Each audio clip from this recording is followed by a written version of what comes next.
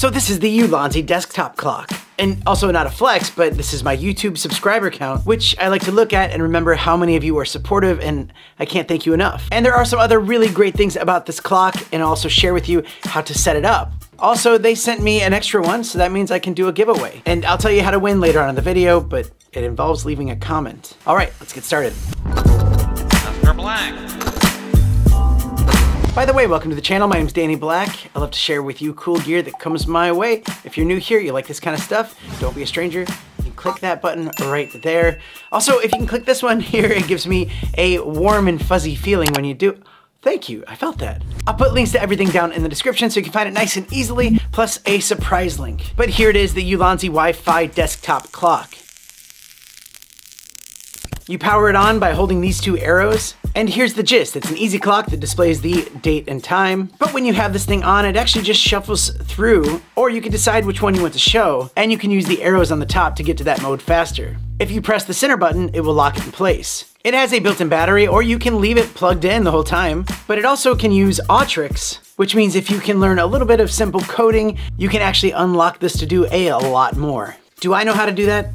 No, but I'm willing to learn. So when you first power this thing on, it will give you an IP address, and then use your phone to type it in, and then you can connect it to your Wi-Fi. And then when you go back to that IP address, you can unlock so much more. And that's something that makes this clock especially awesome is that they can update things on the back end so that you don't have to worry about upgrading the hardware. You can just update the software of it. Okay, so looking at that web page, you have your general settings where you have language, and if for some reason yours is in Chinese, you just click that top one and you can switch it to English. You can adjust the brightness of your clock. I like to set it on auto, which saves the battery a little bit more. This is where you can switch the speed if you want it to go a lot slower or a lot faster. This is where you could set your time zone, your time format, your date format. You can also customly set your night mode, so after a certain period of time, night mode will start and it will save a lot more battery. If you click next, this is where you get all those different modes or modules, and you can turn those on and off depending on what you want.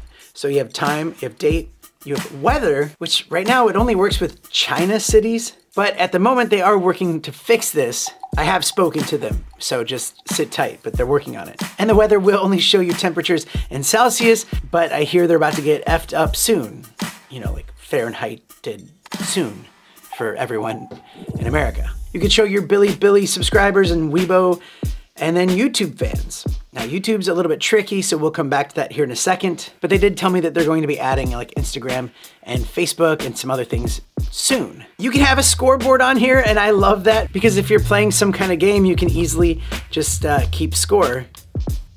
I don't know, it's kind of fun. You have a timer, you have a 25 minute countdown, which they call tomato clock. You can also display your battery power. There's this little matrix background you can put on. And then there's the Awtrix simulator, where you can customize this a lot more. It takes some knowledge of coding, but you can do that and you can add your Instagram and Facebook and your local weather and things like that. Now, I'm assuming that you're here because you want to display your YouTube subscriber account. And I think that after a thousand, it rounds down to the nearest hundred. So even if this was at 299, it would still say 200 until it goes over to 300. All right, so for the YouTube one, you're gonna click this little gear here and you're gonna actually try to find your YouTube UID, which is not your user ID, it's your channel ID, but they say UID. And to find that, if you go to your channel, like from your studio, if you go to that URL, it's that big number here after the slash. So that was the easy part. Now comes the fun part, we'll call it and that's getting an API key. So I'm gonna show you exactly how to do it, but in case I'm going too fast, I'll put step-by-step -step instructions down in the description. So first thing you're gonna do is sign into your Google Console Cloud.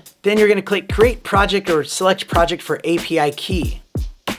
Then you're gonna click on the navigation menu, which is in the top left corner. You're gonna go to APIs and Services and go to Library. You're gonna scroll down and then you're gonna click on the YouTube Data API v3 and then click on Enable YouTube Data API v3. Now we need to create credentials for our YouTube API key. So click on Credentials, click on API key, and now you'll get your YouTube API key. And then you simply copy it and then you can paste it right here on that spot right there. Might take a second to uh, get it updated, but uh, it should work. And if right now you're writing in the comments, it didn't work for you, just go back and repeat those steps exactly how I just showed you because maybe you clicked on the wrong thing, but it does work.